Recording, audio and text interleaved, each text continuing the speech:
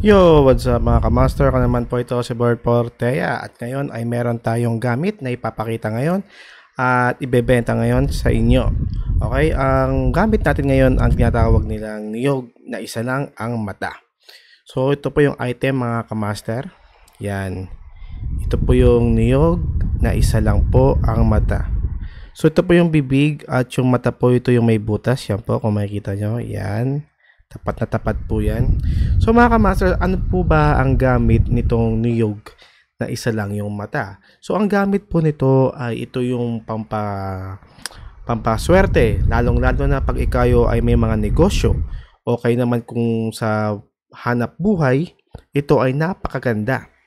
It, lalapit yung mga mga kasosyo nyo, mga kliyente nyo, yung magiging yung magiging boss mo na magiging maamo sa iyo pag ikaw ay may kanto. At syempre, pag maganda ang negosyo, syempre maganda rin ang takbo ng pamumuhay, maganda ang takbo ng mga pera, mga kamaster.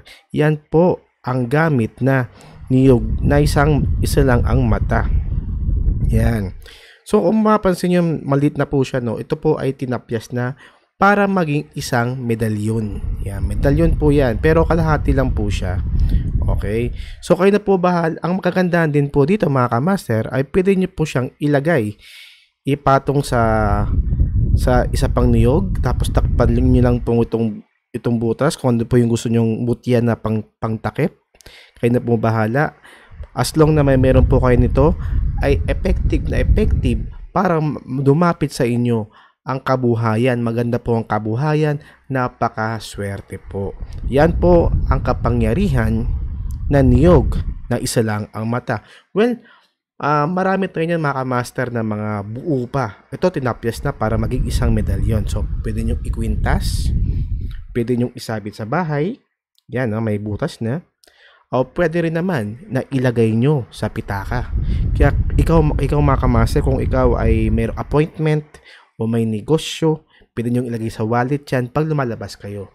Pero, ang kagandahan din naman ito, kung kayo ay may tindahan, sa loob ng bahay, may tindahan po kayo, itapat nyo lang ito doon sa lagayan ng pera at siguradong sigurado, maraming mga um, barya at maraming pera ang dadami pa doon po sa lagayan ng pera nyo sa tindahan.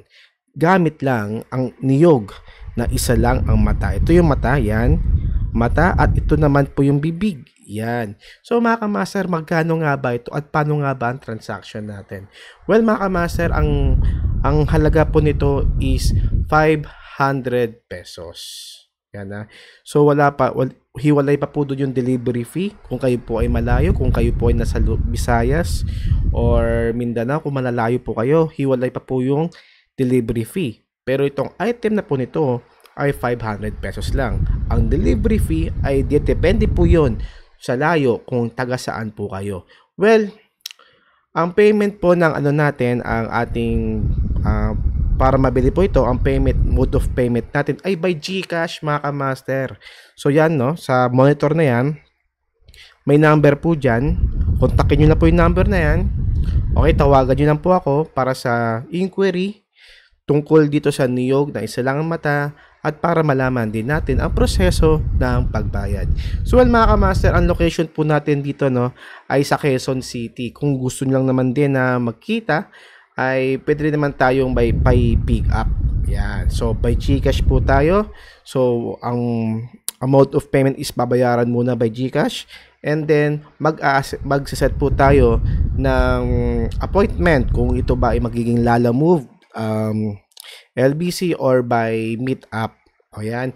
And then sa Facebook naman ay makikita naman dito yung pangalan ko, yan, Bert Portea. Hanapin nyo lamang ako doon para makapag-chat tayo. Yan na, kung sa number naman, gagamit ng number ko ay by call only. Yan mga kamaster ha. Call only lang po yan. So ito, binebenta ko po ito sa halagang 500 pesos at meron na kayong niyog na isa lang ang mata. So, well, mga kamaster, hanggang dito lang muna. Ang item code po natin to ay para hindi tayo magkalito dito. Para ito lang, ito mismo ang ano natin is A1. Yan. Ito po yung kauna-una kong item na ipapamahagi sa inyo. Well mga kamaster, hanggang dito lang muna at see you sa mga susunod nating mga videos. Bye-bye! Alright. Nga pala, as long na yung video na to ay naka-upload pa, ay available na available pa yung item na to. Kaya unahan lang po, mga master, unahan lang para makuha niyo na po agad po ito. Alright. Thank you.